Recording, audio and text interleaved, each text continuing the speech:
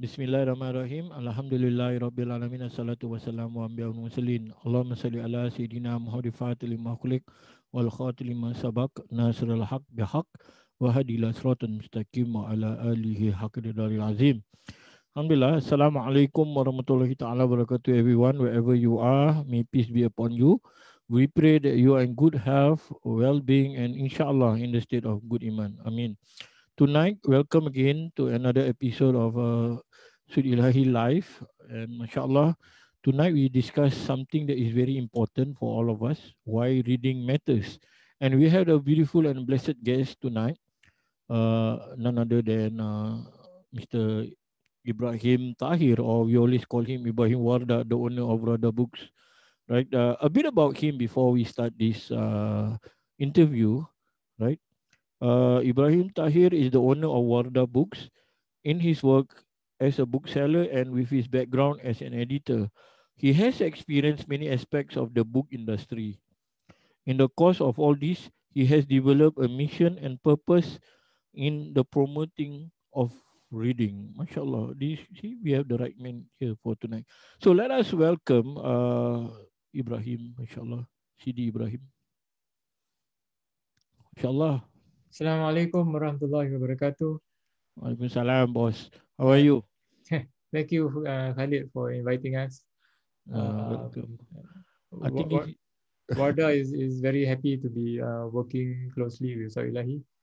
Thank you. Uh, we've been cooperating uh, since the beginning. Yeah, inshallah. Inshallah. Uh, I think uh, all of us actually uh, looking forward to tonight to learn about reading from you. Inshallah. You know, um, knowing you for so long, right? Uh, I think 21 years, inshallah. Even before Warda exists as a bookstore, uh, I remember you running Warda as a online way of people ordering, which is today also, but today plus the bookstore, inshallah. Allah preserve all of you for the good work. Um, you said that, I remember you said that you did this because you wanted people uh, to start reading books. I find it very profound because that hit me actually, really hit me. And that's how I started to read back again. Because when I was young, my father, my late father always said, read any book. So we were, my, my, my late mother will bring us to mobile library. You know, last time they have this mobile library. And after that, of course, along the way, I lost it. But until I met you and you were telling me about the importance of reading, right?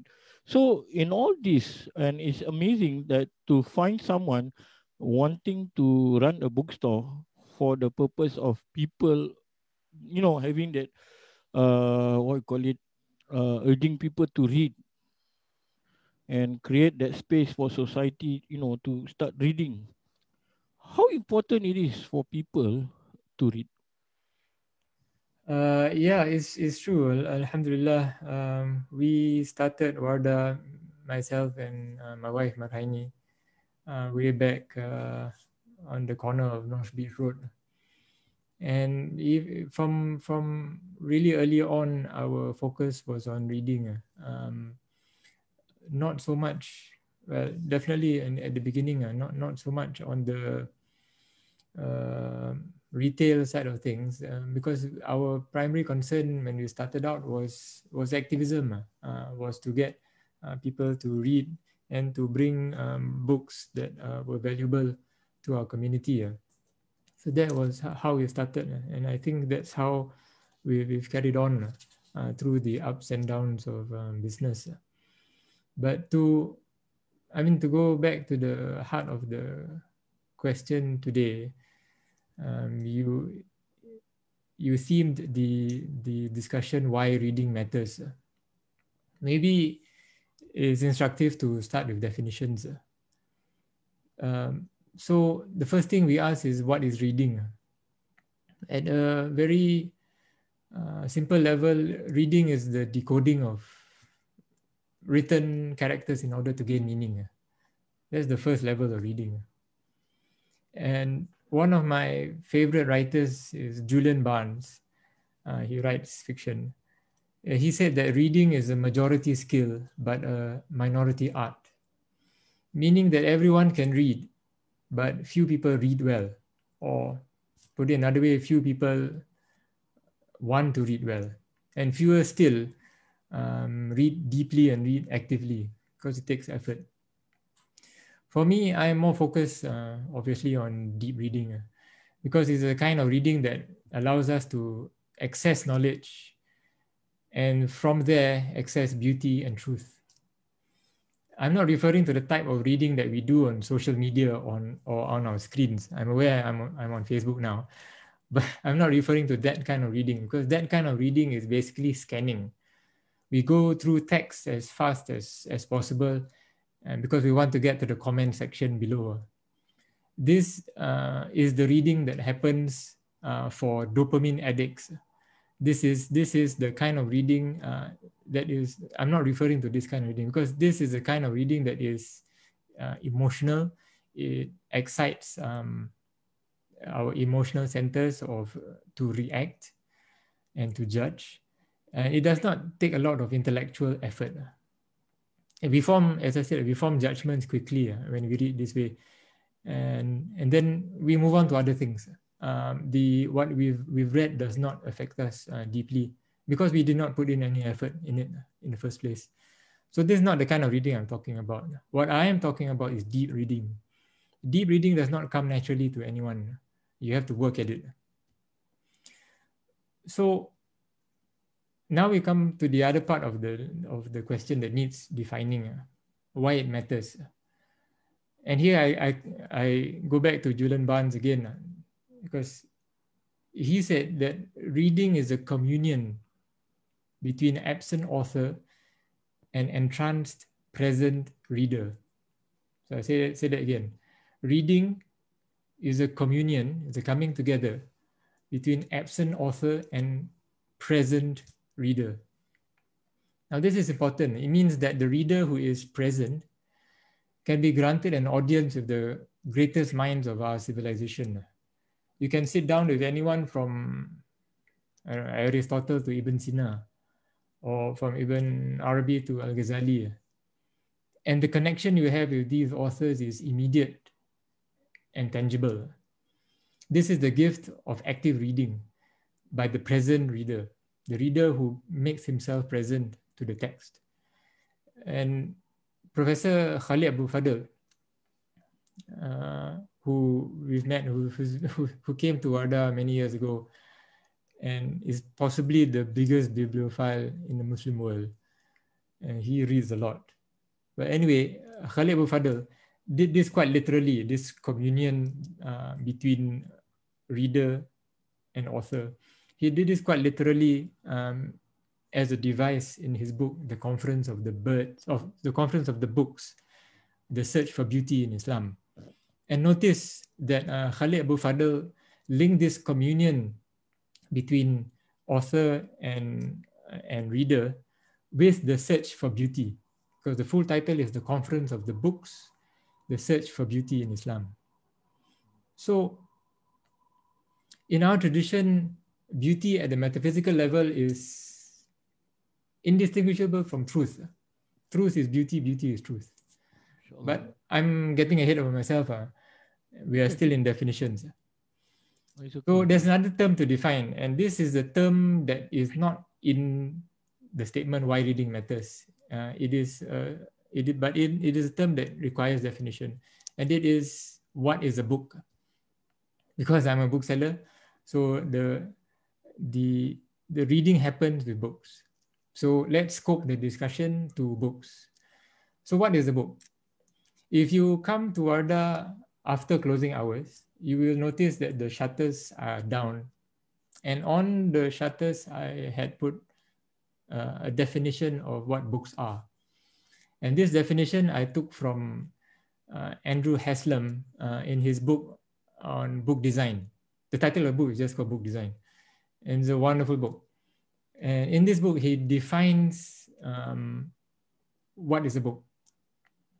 And his definition is books are portable containers consisting of printed and bound pages that preserves, announces, expounds and transmits knowledge to a literate readership across time and space.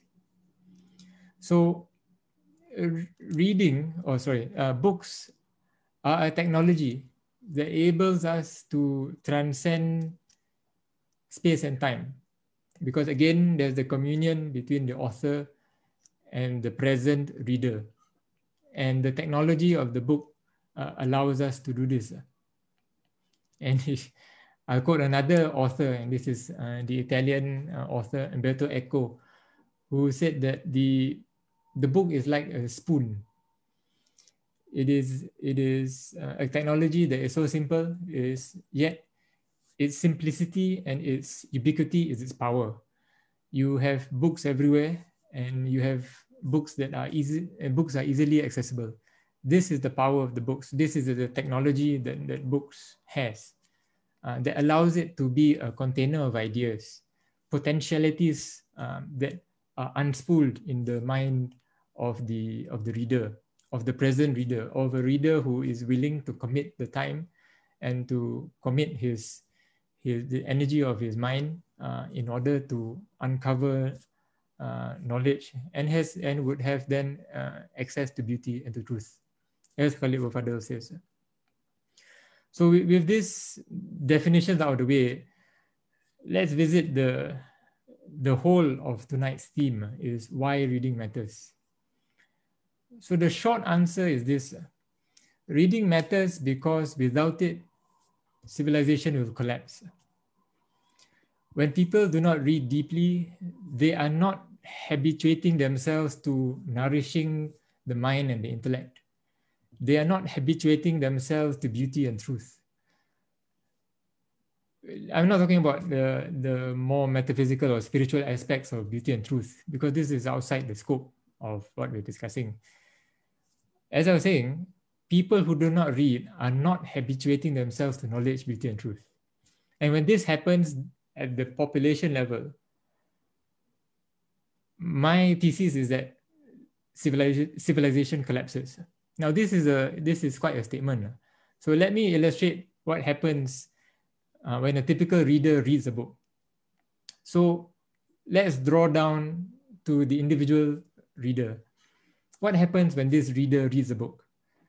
First, he selects a book uh, to read on the subject of his choice. So there is will at play here. And the will intends to access knowledge. So far, so good.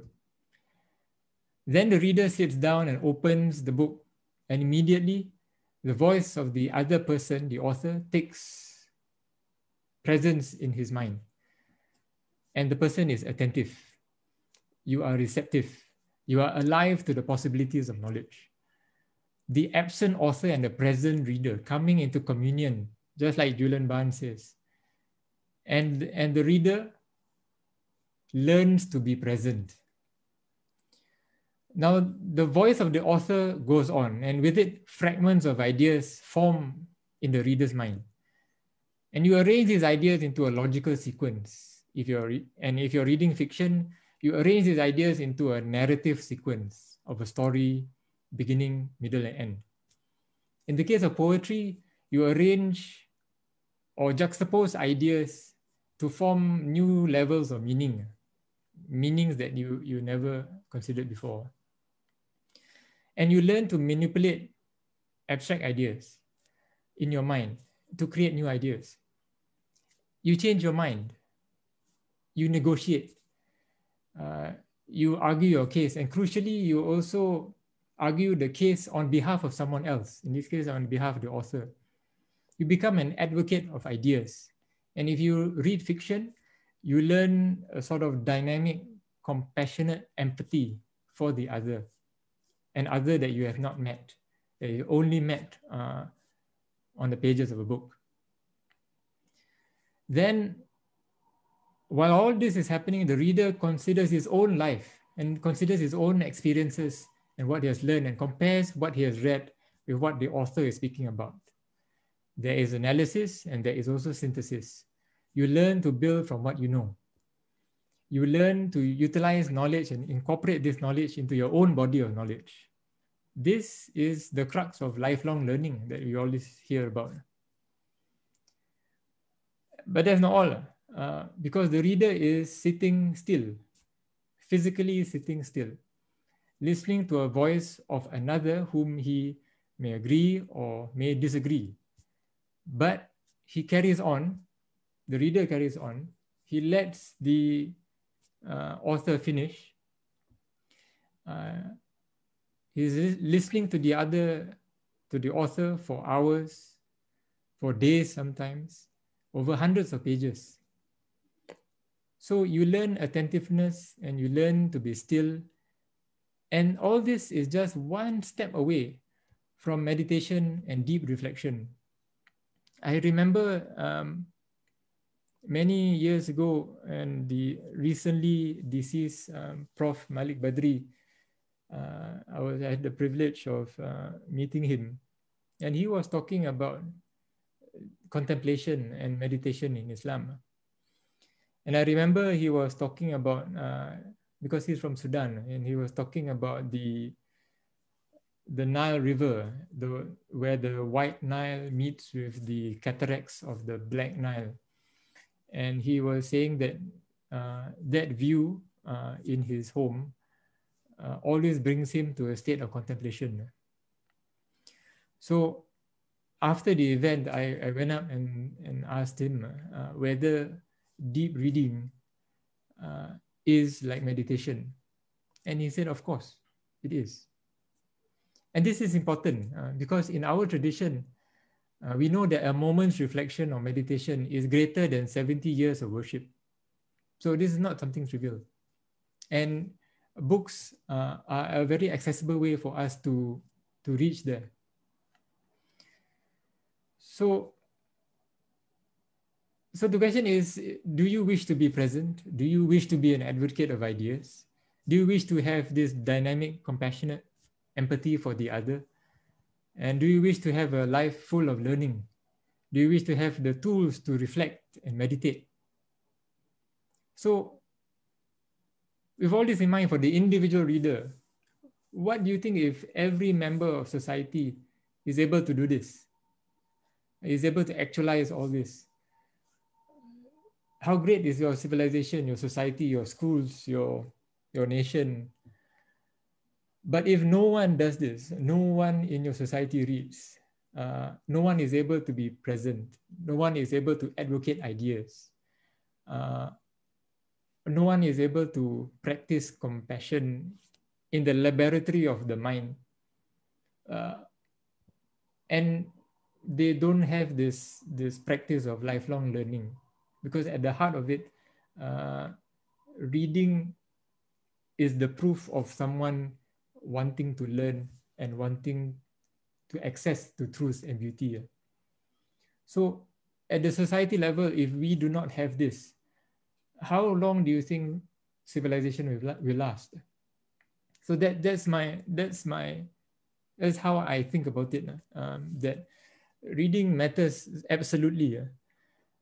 So I mean, if, if you see someone uh, reading a book, uh, sitting down in the corner reading a book, and you are on Facebook or social media arguing with someone, perhaps eh, you should have the awareness that the one that is doing uh, more work is the one that is actively reading and changing themselves and changing the world. This is why reading matters. So that's my opening statement. MashaAllah, so profound, so many le- at many different levels to show how important reading is. Uh. And I remember you said that many years ago to me also when you first started Wardah. And I think this is something that we are completely lacking and not understanding the reality of reading. Uh. The, the, the thing is, I, I did start out uh, with this idea uh, for Wardah 20 years ago, but over the years, uh, the the issue has become even more urgent um, because back then we did not realize um, how serious um, the fall in reading uh, would, would happen in our society. Uh. And the, the effects are, are, all there for you to see. Uh.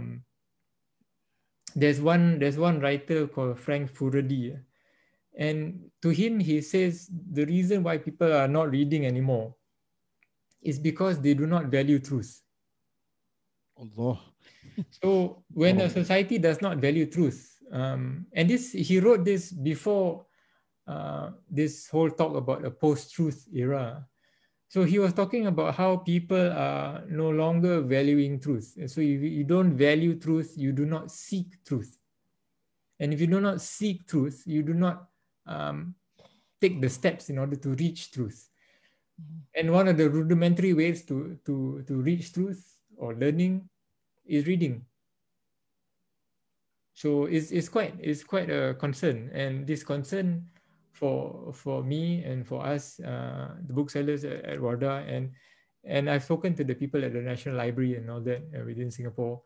It is it is quite a concern, um, and also educators. This is this is quite a concern when uh, a, uh, our society, which is which is literate, are functionally illiterate because we we choose not to read and we choose not to read uh, with attention and with the with the intention to reach truth. Inshallah. I is like mesmerized. yeah, but I think there's so many layers of it that you said, which is the truth itself. Mm. I think this kind of thing can make as a as a workshop by itself. yeah, I, you don't need a workshop. All, all, you need to do is to pick up a book and um, and dive right in. Uh, uh, yeah, dive in. That's the key. Uh, you see, I think you mentioned about social media. Mm. You mentioned about the effect of it, uh, and also the the fact that how it how we don't realize that reading a book is much more important than spending on social media. Yes. Yeah. Because the the the the brain is a very plastic. The the brain is very adaptable. Um. Uh, so when when it is habituated to something, it's habituated to to to, to truth and to seeking knowledge, then uh, the whole brain is is conforms to that um, orientation. We, I'm just talking about the brain. I'm not talking about the soul yet, but I'm sure there's a lot of implications for for the spirit and for your ego and all these things. But our our sphere is the intellect, and the intellect has to be nourished um, uh, an intellect that is not fed dies. It's as simple as that. So this, this is this is a matter of great concern uh, to all of us. Yeah. Interesting also because just now also when you were describing about why reading matters, you mentioned about when you read a book, the author is talking to you, yes. and you are reflecting muhasabah. Uh. The late Professor Dr. Malik Badri also was talking about it, right? and uh, dive in, uh, like what you said, right? So there's the, a lot. The, the, the, the thing is, we do not, we have a lot of our, uh, a lot of us, we have lost faith in, in, in the medium. Um, because we, we do not, we see as something trivial, uh, um, reading. Mm. And it's something kids do. I remember I was, uh, I was I think I was at a bus stop. I think many many years ago, and I was reading. Then there's there's this elderly lady was so curious. And she spoke to me because in our culture, very rare for people to speak to strangers. She spoke to me and then said, "Boy, what are you reading?" I said, "I'm reading a book." I said, then they said, "You're so old, you're still uh, in school." Said, no, I'm not in school. I'm, I'm reading I'm reading something I'm interested in. So she was genuinely um, curious. Uh. But anyway, that, that, that's beside the point. What, what I was trying to get at is that we need to trust the medium of the book. Uh. We need to uh, know that the while the book is simple, accessible, um, it is not something um, that can be dismissed uh, as um, as trivial. Um, that's that's both the power and the weakness of the book. The power of the book is is extremely accessible, uh, and the weakness of it is that because it's so ubiquitous, uh, people think that is nothing. Yeah, I think also the reflection of materialism also lah. Yeah, but I think the diving part just now you were talking about the absorbing, right? Is you are absorbing by the book, the author, the author speaks to you, and your mind contemplate, your heart reflects, and everything goes on. But there are also people who trying their best to have the level of deep reading, as you mentioned, right? And uh, maybe we we can start from here, so lah, a bit sure. tips, advice from you. How do we get there to to have that uh, deep reading that, that that steps that we need to take uh, you know like yeah you you you, it, yeah. you you can't run a marathon on your first try uh. mm-hmm. so you you need to um, build up to it uh, you need to practice it uh, and you you need to just do it every day and you get better at it uh. um, yeah if people start by walking and then they start brisk walking and then eventually they can run marathons. Uh. Um, this is the body. The body is able to adapt to the to the needs of the of the person. The mind is the same. Is able to adapt much faster. In fact, the the challenge uh, for us is is actually uh, distraction.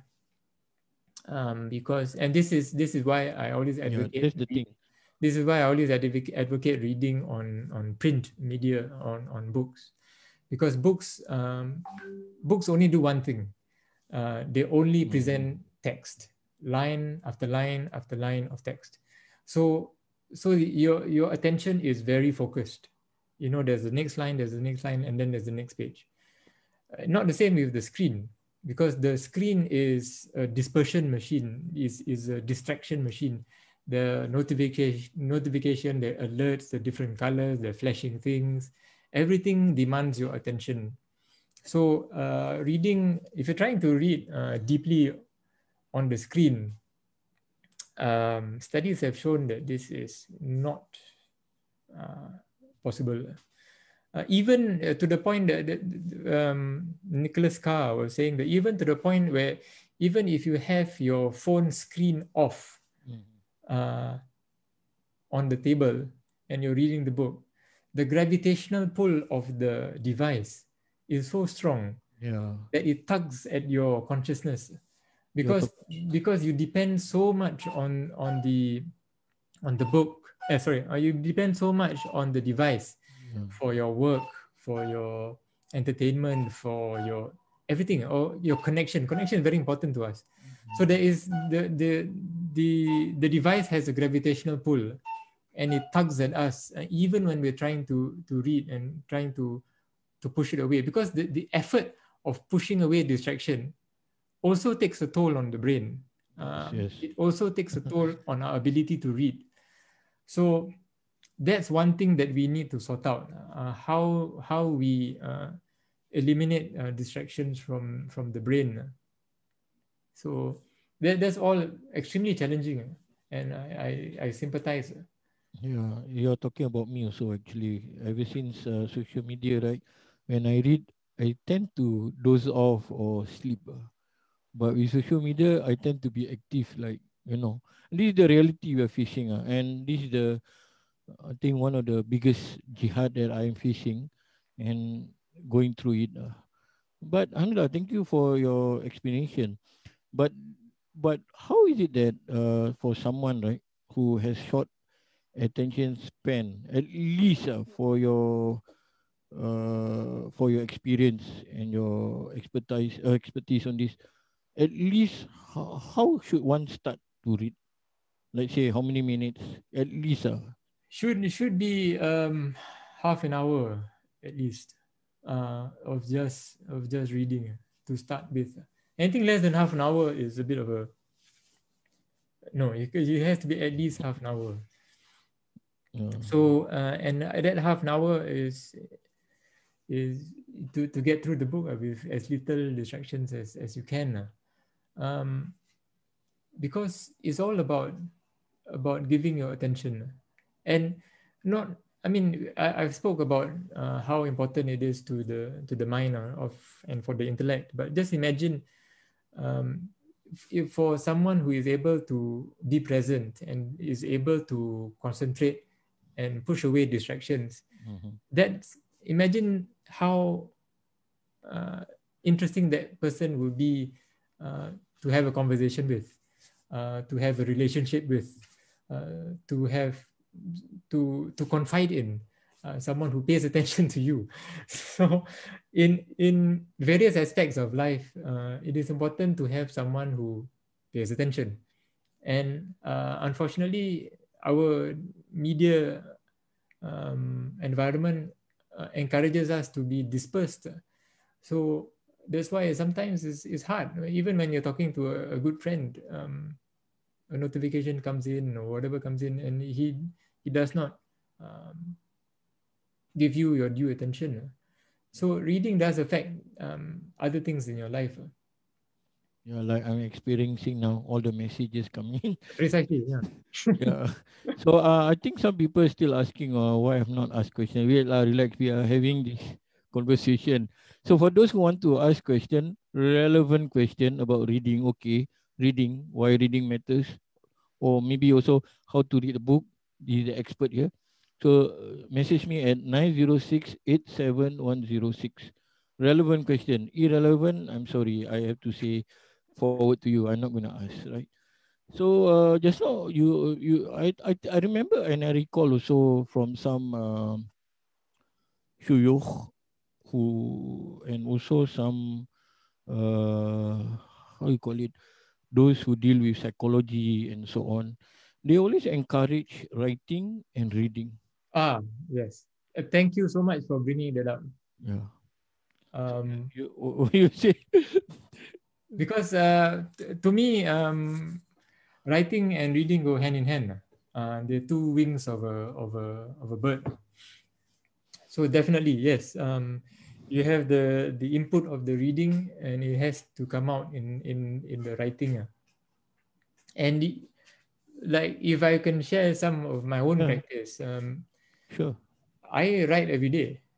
MashaAllah. Um, and uh, I write a few pages every day, uh, every morning. Uh, that's that's my practice.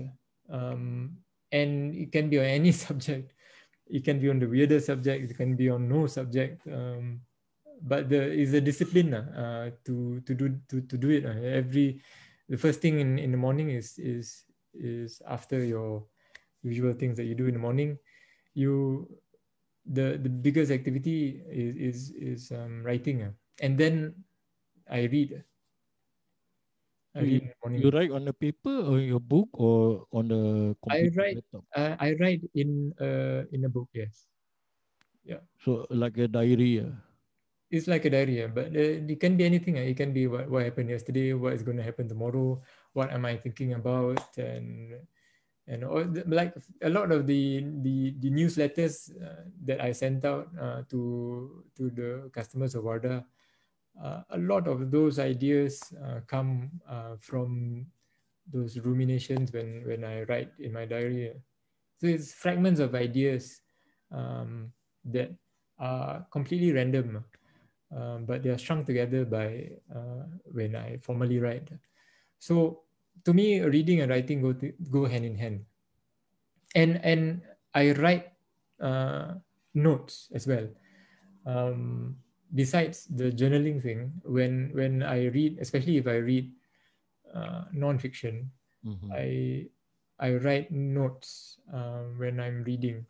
It slows down the process quite a lot, mm. um, but th- that's kind of the point.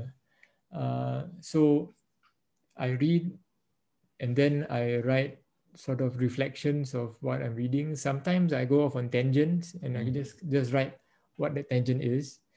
And at the end of the chapter, I sort of summarize the chapter. And then um, after I've read the whole book, I look at all my notes again and I and I write uh, a long reflection of the book. So in that way, the, the book stays with me um, longer. I'm able to recall stuff from the book because I spend a lot of time with the books. That, that's for non-fiction. For fiction, I, I don't really take notes. Um, I still read a lot of fiction. Some people are surprised by that, but I read a lot of fiction. So is there a difference or not? Because now you're talking about dive deep uh, mm, yes. into it. Is there a difference between uh, reading something that is uh, the truth, like you mentioned, the truth, yes, and also fictional. As someone who love history, right, I always love to uh, read history books. Uh. I mean, I force myself to read because yeah. I love history. And Wardah has become like a, a door to me ever since 2004, right? You bring a lot of books around the world or scholars write about the history of Bosnia or whatever, Ottoman. So I saw that like a, like a, a lens to the world itself in the bookstore. So is, there a huge differences or it's okay, just read the book yeah, uh, yeah, there is a difference between uh, non-fiction and fiction, of course. Uh, as I said, I, I pay a lot more attention when I'm reading non-fiction um, because I'm trying to follow the arguments of the of the writer and all that. But for fiction, uh, it's best that you just lose yourself in the story.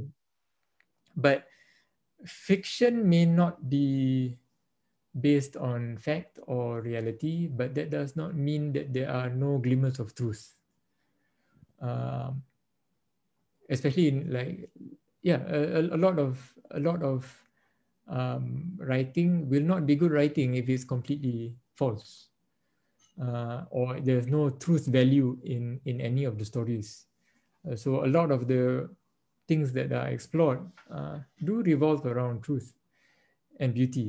And certainly with poetry there's a lot of beauty there. And and, and that, that that's the thing uh, for for poetry uh, in order for you to appreciate um, the beauty of the words you must bear in mind that, that, that poets uh, people who write poetry agonize over the the placing of words one word after the other they agonize over. They, they, they take weeks and years just to craft a sentence that is maybe just three words and uh, we need to give that due attention uh, because when we give the attention then we can see the layers and the meanings and it's, it's just beautiful so whether it's fiction or non-fiction uh, that it doesn't mean that you're there's a difference in the access to truth there, there is some glimmers of truth uh, yeah. beautiful I, think uh, how about some someone uh, like someone like me lah. I cannot write well as well as you and a lot of people, uh, but always have this reflective after reading books and all that. Yeah. So should I still write and get someone to edit or just write? No, no, no, no. No, you you should write for yourself. Um, you should when when you when you've read a book and you feel compelled to write, as most people uh, do, write for yourself. Um, don't write for publishing uh, because um, you need to write first. You need to get it out, uh, and you need to um, you need to actualize some of the ideas on a page. Um, maybe later, maybe in, in years from now, uh, when the machinery is going, then uh, then you could publish. But but notes like my own notes, I, I don't show anyone. Um, because they are uh, only I will understand it. And uh, it doesn't need to be in complete sentences or whatever it is. Is I mean, there's not the role of the of the of the notes. It's not for publishing. And if if you write in order to publish, then it's a bit different. Uh, then then you will be arranging your words, or you'll be you know, and it, it, this is not what you're supposed to do. You're you're, you're capturing um, disparate ideas on the page that occur to you. So that's the role of it. Yeah. So yeah, for for, no, for, I, for you, I, definitely right. yeah. Thank you very much. Inshallah. Uh, you were talking about fiction and non-fiction, right? Uh, I just received this question. Uh, I think it's an important question. Uh, he said um, something that make me hesitant to complete reading religious books or books by great imam and scholar by myself is because we hear that when we read that kind of books ourselves, we may understand it wrongly according to nous or expect, uh, affected by shaitan if we don't read with a guide by a teacher. I think we discussed it many times, right? So do you have any advice for me I have many books on my shelf written by great scholars, teachers, awliya, of which I only read a few pages. Yep. Yeah, I do come across this uh, in the shop as well. Um, but the the response cannot be that you don't read um, because these books were written by these ulama uh, for them to be read. And um, you need to know yourself uh, and um, it's difficult to say uh, but it you need to continue to read um, because um, ignorance is even worse I'm not saying that you're ignorant, but but what I'm saying is you have to uh, dip your toe in. Um, yes, the path is perilous. Life is perilous. Life is fraught with danger. It's the same with books. Um, it's all these ideas that come out and all these um, different ways of seeing things. You can be threatened by them uh, and they can be threatening but you need to journey into it. Um, best way is with the companion, of course. Ultimately, is the best way is uh, with a teacher. And I'm always reminded by what uh, Imam Haddad said in one of his treatises. Um, he said quite clearly uh, um, the best way for knowledge, I'm talking about religious knowledge, the best way for knowledge is for you to find a teacher to guide you. And then he, is, he is talking about his time in the 17th century. He says, in our time, uh, there are no such teachers. So if you do, you can't find teachers, then find a virtuous friend. And then he says, in our times, there are no people of virtue. Uh, so if you find yourself without a teacher, if you find yourself without a virtuous friend, then Imam Al-Haddad says, retreat to books. And among the books he says to read are the books of Imam Ghazali's Ihya Ulumuddin. So these are books that are meant to guide. And, and those who have looked into the, the Ihya, uh, they know that it is written by, by Imam Ghazali and Imam Ghazali wrote it in order to guide you. And most of the, of the writings are like that.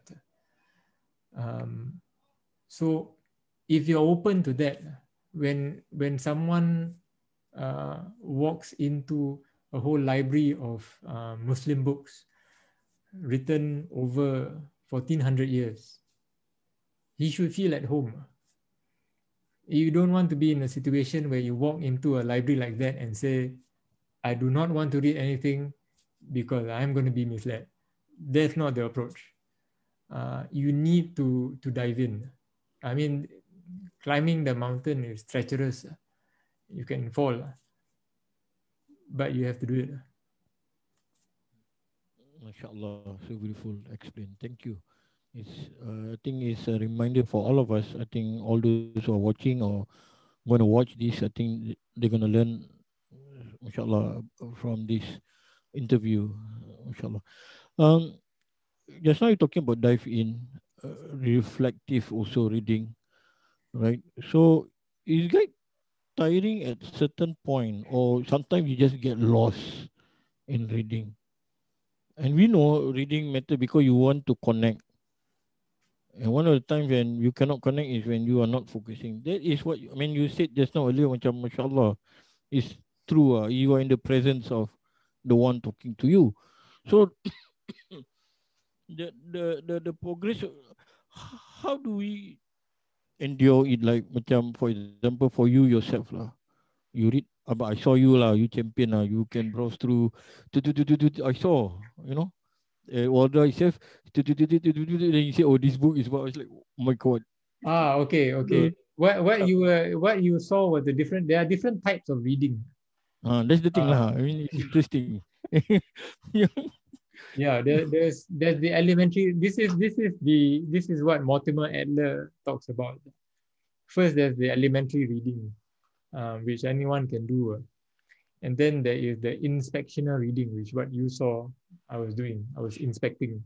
I was I was browsing and scanning the book very fast.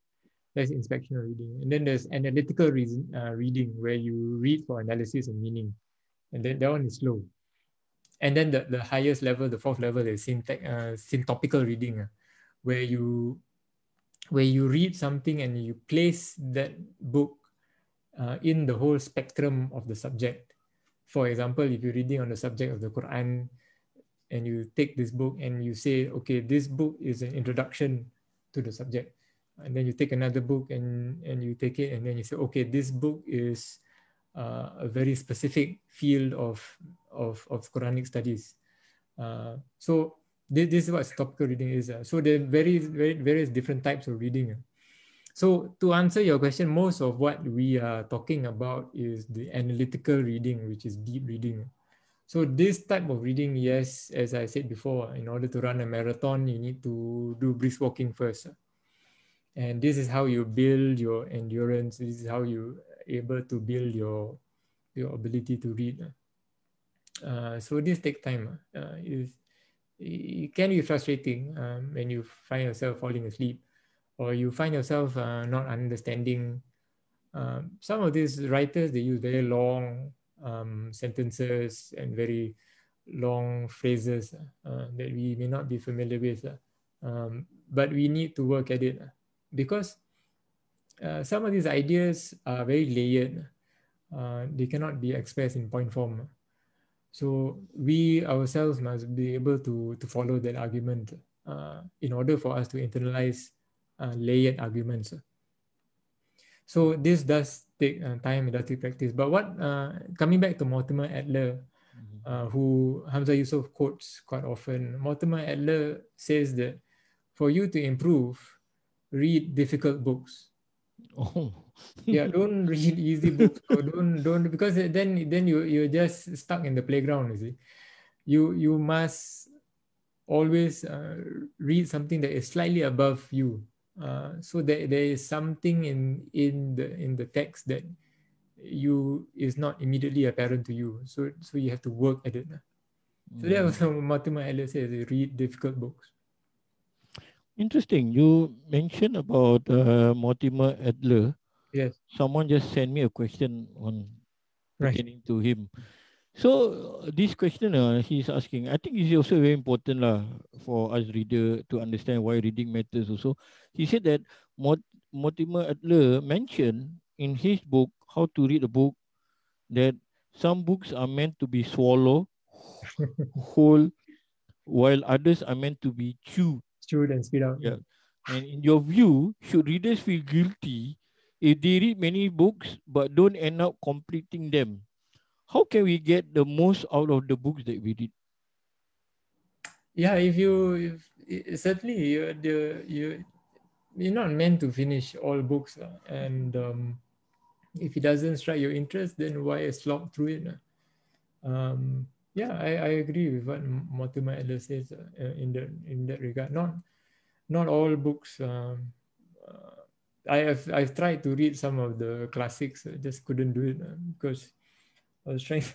Uh, Sheikh Hamza was was in the shop many years ago, and and we, as, as we do, he tends to talk talk a lot about books. Uh, so he was asking me to to go back and read because I told him I tried to read um, Crime and Punishment by Dostoevsky, uh, a Russian uh, writer. So I tried, I just, I just could not get through it. There were so many Russian names. so I, I I might go back to it uh, again, but uh, Sheikh Hamza really loved the book and uh, I, I wanted to attempt the book again. So yeah, certainly there, there are some books that maybe you're not ready for. Uh, so it's, it's wise to put it aside uh, and then circle back when when when you're ready or when the circumstances are right. Inshallah, beautiful. Um, in in regards to why reading matters, uh, right? And uh, how do we cultivate that in children, uh, the, to show them, to to make them realize at young age as they grow up, right? that reading is essential for them. And There's there there was a study done um, by the National Library Board and MOE. Um, they asked children why they read, and the answers uh, were quite telling. Um, most of the kids say, "I read because my parents tell me to read." I read because I want to get better marks for my exam. I read because it's all exam related, uh, school related. So for that child, if you if you imagine that child 10 years ahead when he has uh, no longer living with his parents, no longer has school, what's the reason for reading? Because at your foundation already you you you have this idea that you read yes you read purposefully but the the scope of uh, reading is very limited to getting better grades or or getting a mother off your back so to answer your question is i think to in order for us to have uh, to to promote reading to children in a sustainable way we we need them to realize that reading is essential um, to them. But that's not easy to do with children. But what is easier to do is to get them to read for pleasure, uh, for for the for the sheer pleasure of reading a book. And if you can give that gift to a child, then that child will be a lifelong reader. And when he's a lifelong reader, then they can do other things. Uh, they can read for learning, they can read for pleasure, they can read for, for language, for beauty, for truth, anything.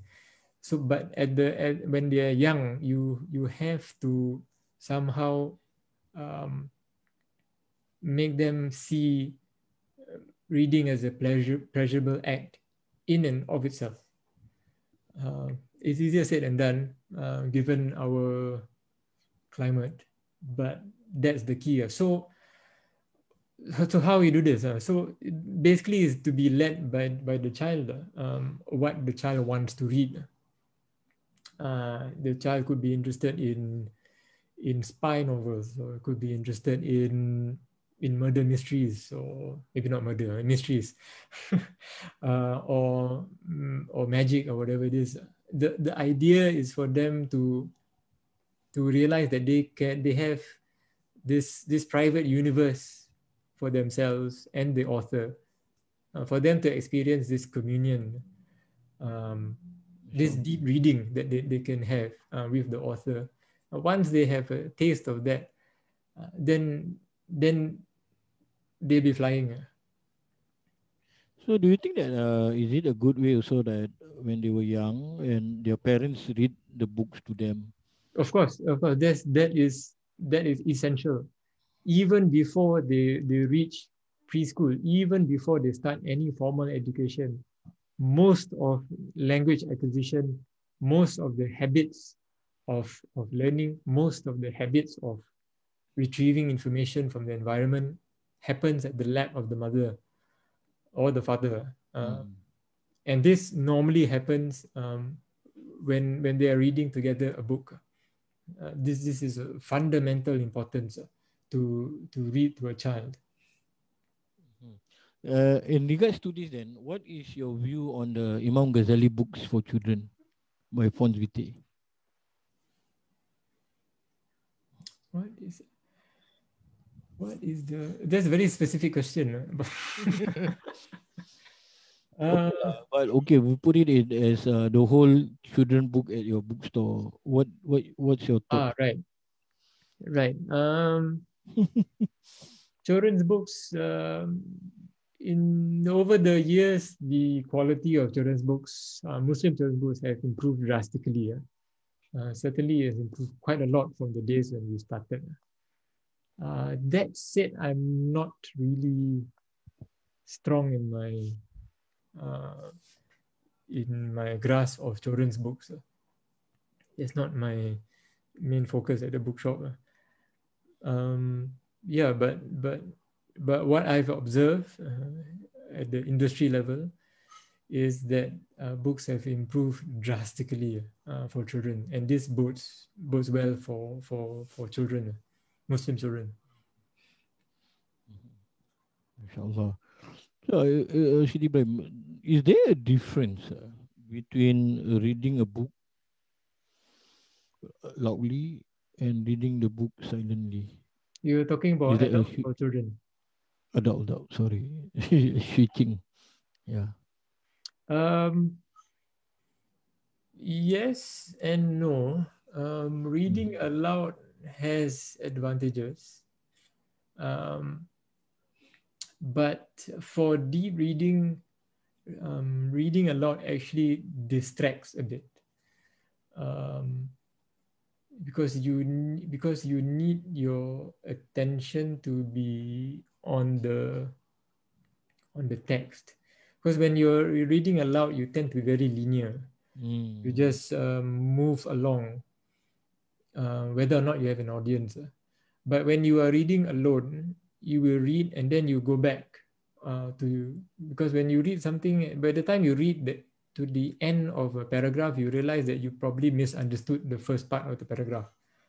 So you go back and your eyes go back up and you read that again and to clarify, oh, I misunderstood what he said, or oh, I eh, only at the end of the paragraph you realize that the author was being sarcastic at the beginning. so, so you don't really do that when when you're reading aloud. Um, you tend to be linear and you don't circle back to to things. Uh, not only uh, the paragraph before, uh, a few pages um, back. So, so reading aloud imposes a sort of uh, a straight jacket uh, that you are supposed to read in a certain way. While some deep reading, uh, you are allowed to jump in and jump out and even skip ahead. Uh, that's all important for for comprehension. Interesting, interesting point. Yeah. Um, you know, Ibrahim, I every now and then I went to uh, if I visit the bookstore, right? There will always be a quote by you. Uh, that stands out uh, that is very interesting. I think one of it, if I'm not wrong, right? You correct me lah. I trying to jot down actually is uh reading is not history. It's a piece of wisdom. It's often when I go there, I always see lah different different capture you put. That is actually to me is uh, something that I ponder lah deeply, but I never ask you. And sometimes forgot to ask you. what what was that mean then? Is it because you want to advise yeah re, re, young uh, generation or you want to yeah the the reading is not history was is a bit of a reaction on my part now because I think it was uh, I think many years ago the a lot of the people in the book industry were feeling very um, disillusioned, maybe or feeling very pessimistic about the future of the industry. Um, and this was during the um, the the rise of um, ebooks. So that was like sort of my oblique battle cry. Uh, reading is not history. Uh, it is here to stay. Uh, so that, that's that's what I would. But the other thing that I I, I always uh, have the quote is um, the secret gift of reading is time. So the secret gift of reading is time uh, is a phrase that is sufficiently ambiguous that uh, people have many interpretations for it. so, but at the core, what it means is that. Um, the act of reading allows you to have time for yourself and it allows you a sort of gives you time to be alone with your thoughts and it allows you to give you time uh, to give in to uh, the life of the mind so it is the book sort of like gives you permission to be on your own thoughts so that is the gift of reading and it's secret. uh, because no one knows that you are actually uh, trying to internalize the ideas because the reader is silent and the reader is alone. MashaAllah, beautiful. Need to do a Sidi Ibrahim Tahir contention. Uh. Maybe you can, you know, read through his wisdom. Inshallah. Yeah, um, there's one question that someone asked me. This just come in, and because this person he went to Wardah, yeah. he said, then he he la find it fascinating in reading, but he doesn't know how to start. But you already mentioned about that just now. So he's asking right now. Wardah has a book club, and yeah, that he he is asking whether is that a first good step for him to make an effort to start reading just by joining the club and follow with what's the activity of it yeah. Um okay when someone comes to the shop and asks me i want to start reading um, what should i read? I will always uh, reply what is your what is your interest? What is your intention and what you hope to achieve uh, so the the the way forward is very individual. Uh, it depends on on the reader.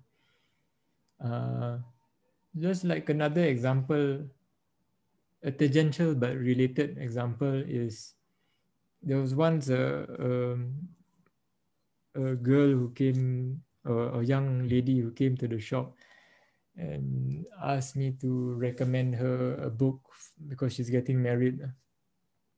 Okay. And and uh, I said, "What is your main concern now?"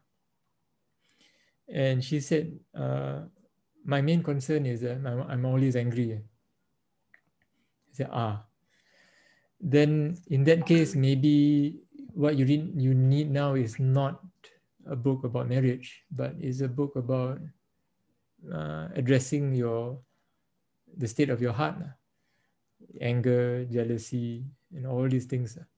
So she went away with the um, purification of the heart by Hamza Yusuf. So it's very individual. There's no one size fit all uh, for readers. And readers come in many shapes and sizes, and the the access or the window into reading can be quite variable. So that there's that. MashaAllah, interesting. And I think Oh yeah, yeah, and, and you were saying whether the you were you were saying that whether this person should start off with the book club. Yeah. I don't think so. Because the the book club is actually for quite advanced readers. Um, and the books we go through are quite deep quite advanced. Yeah. Mm. So I'm not saying that you're unwelcome but um, it might be more useful for you to read what interests you at the moment because our book club are thematic. Um, so this whole year we are looking at um, Islam and other civilizations. So it's quite a niche subject. So, so if you yeah, you don't have an interest in the subject, then um, it could be a recipe for uh, for discouragement. But we what we do have um, every Sunday, we do have a silent online book club where you could read any book and you log in to Zoom and you spend an hour from 8 a.m. to 9 a.m.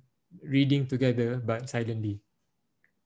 Um, a lot of people seem to like this idea of coming together. It's basically the idea is to commit the time from 8 a.m. to 9 p.m. on Sunday morning. You commit the time, you come together, and and you read whatever book you have. So that seems to be um, a popular option, and this is an option that uh, anyone who is want want to try um, uh, deep reading could could could do. Uh, there's no there's no banter. There's no one talking. It, it's, it's just people coming together in in one Zoom room uh, to read. Hopefully, after COVID, uh, we could rent a space and we could all sit on sofas or whatever it is. But I don't know when that'll be. So at the moment we are we are on Zoom. Inshallah soon. So you mean that they enter the Zoom Yeah, and then they just read on their own. correct. That's it. That's it. All of them read on their own. ah. So Yeah. they, nobody say anything. ah. Just read only. Yeah, there, there's a slight social element. They come in and they say, um, "Hi, I'm from Kembangan. I'm reading X and Y book." That's it, and then they read, and then they they sign off. So Interesting. It's interesting. Yeah, it's, it's quite it's quite a phenomenon. Um, I actually got this idea from an Egyptian um, library, the Egyptian University Library. I was talking to this librarian, and we were talking about book clubs, and she said that her most successful book club was a silent book club. So I kind of stole the idea. Yeah, mashallah. Uh, there is a question coming in. Uh, you were talking about just now fiction. Then Yeah. someone asked this question. He said, uh, I can clearly see what non-fiction books offer. Yeah. But can you share perhaps the value of reading novels? Yeah. And is there even value in reading books like Harry Potter? Yeah, I do see value in this uh, in in in reading fiction. Um, the one thing that uh, has been studied um, uh, and that has been proven is that uh, reading uh, fiction helps us with our empathy, um, with our ability to empathize with uh, different cultures and different peoples. Um, and is also uh, like a like a laboratory of um, moral ethical values because it's like a gymnasium where we could see what happens when certain moral values are taken to their logical uh, steps so this would be or it could be a laboratory for certain political ideologies to develop. And these would be things like um, the, the writings of George Orwell in 1984 or Animal Farm. And even in things like Lord of the Rings, uh, where you have this idea of, of the hero and the, the good versus evil, and all these, these things, uh, they, they, they, they are important because they these are like um, as I said, uh, these are like laboratories uh, for our own imaginings. Mhm. Um, and imagination is important. Is is the way we we empathize. Is the way we imagine uh, different situations to be. Mhm. Um, so I I do feel that is is is it is important. Someone and sa- certainly in in our tradition, uh, fiction has always been is been there. I mean, we we often forget that the um, the first people to write um, fantastic fantasy science fiction were the Muslims. I mean, look at the look at the Thousand and One Nights. I mean, there's so many things. yeah. happening. You got flying carpets and Yep. you've got genies and you so it's, it's, it's, it's very um, uh, is is embedded in our tradition and a lot of the a lot of the stories especially if you look at um, Sufi stories a lot of these stories are fiction but they are they they embed a lot of teachings within them a lot of truths are embedded in them so I mean if, if you don't read um, fiction or folk tales uh, so a lot of these things uh, you don't have access to uh, Someone is asking, what is your favorite non-fiction book? Hmm. Very hard to say. Favorite non-fiction book? I think it would have to be uh, Neil Postman's Oh, that book. Amusing Ourselves to Death. I remember you recommended that book to me before. I've, I've, uh, there's a compulsory book for all my booksellers. um, yeah, Neil Postman. Um, Can you share why why is it you, you, you mentioned compulsory? That's a heavy word, you know, compulsory, wajib. yeah, it's, it's an important book. Uh, it's an important book because it, it helps us understand the media. and it helps us understand how media shapes civilization. Uh, and the, the main thesis of, of uh, Neil Postman books is this, this particular book is that a lot of public discourse has become entertainment. Uh, so politics is entertainment. You you watch the news in order to be entertained by by the by what happens in in America and Trump's America is is a show. You go there to to have a laugh. Uh, so that is what Neil Postman is talking about. And not only is is um, is politics now entertainment, but uh, sex is entertainment, religion is entertainment, everything uh, is entertainment, and this is because of the medium of the of the visual medium of of television or things like that, where where the appearance is more important, where the soundbite is more important, where the quick put down is more important. Um, so it shapes the way uh, society uh, society discourses with itself. So it's it's an important. There's, there's so much more in that in that book. Uh, but if you're asking me what's the my favorite book, it'd be that one. Inshallah, I bought that book because you recommend. it's a hard book to read. Yeah, and it's uh, I, I after reading it a few times, uh, then it finally hit come into me. I mean, hit me and then I realized how powerful this and then I realized you always emphasize on this book. Then, and and that, that's the thing about about good books like like Postman's book. It it opens uh, new vistas or learning. So through Neil Postman's writing, I got I got into the writings of Aldous Huxley, and then you are in you get into the the writings of Marshall McLuhan, all these people who who have commented and studied on media. And later on when when we read things um, from from other writers you tend to compare what you've learned. So that, that's that's the other thing about about reading. It, it you build on on what you've read. And and in a way you because you read all these books uh, these these books discourse with each other through you so that's quite interesting uh, yeah. So, but Ibrahim, in your own experience, uh, reading a lot of books and book selling, I mean, the hal on the book is always there. Uh, what is the best time to read books? Yeah, is that for for me, uh, what I tend to do is in the morning I read um, non-fiction or serious books, and in the evening uh, I read um, fiction. Mashallah yeah. Inshallah. so that is i you start with one thing and and, and i like reading um i like reading deep books or difficult books in the morning. Because the rest of your day you're sort of like thinking about the book you're in that space.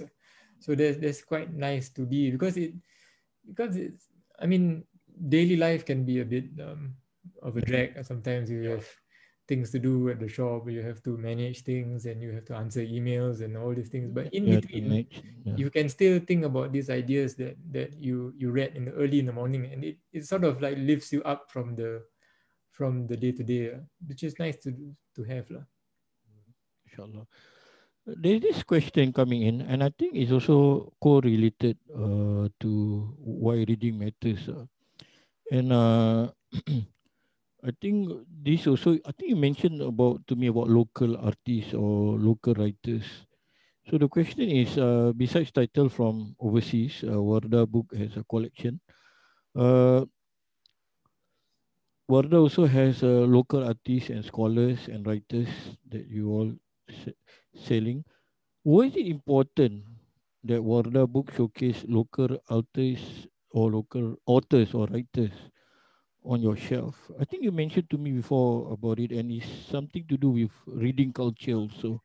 Yeah, because um, it's all about the ecosystem. Um, in in the individual, as I said before, there is reading and writing. Uh, they come together. But when you look at the society and Wardah does not exist in a vacuum. We exist within, embedded inside our own community And our community have people who read and people who write. So Wardah needs to support um, those writers um, because it is it, it, it feeds back into reading again. It's a whole ecosystem. It's a whole web of existence that you, you need to to foster. And the it's not just um, writers, it's the book designers, is the book suppliers, is the journalists who review the books in magazines, is the booksellers, is the whole ecosystem we need to cooperate and work together uh, for there to be um, for there to be a healthy uh, reading environment. Um, there are there are problems uh, such as disruption uh, economies uh, where, where they circumvent a lot of things uh, where they go direct to the to the to the seller or they go they publish a book without even having an editor or publisher or things like that uh. there are advantages and disadvantages uh, but the main disadvantage disadvantage is that you you don't nurture this environment you don't nurture this ecosystem uh. yes it is slower to publish a book when you have an editor, when you have a page designer, when you have a cover designer, why don't I just do everything myself? But you are not fostering the community. Um, you're not you're not drawing on the strength and the diversity of your literate um, community. So there's a lot to be said about this. Uh, like in in in the heritage of Kampong Glam, where Wardah Books is located, there were there was a whole industry around books. There were booksellers, there were book distributors, there were printers, there were ulama who wrote the books, and there were editors, there were language specialists, there were translators. So many, all this, all this existed, and all these things were were were sustained by a very um, strong reading public. So I've, I've, I've come back to this many, many times uh, that our society, uh, Malay society, uh, is a society of readers. Um, don't let anyone tell you otherwise. Um, because books were important to our community um, since, since very long. And we need to re- rediscover that. You have a long tradition, right? Yes. Yeah.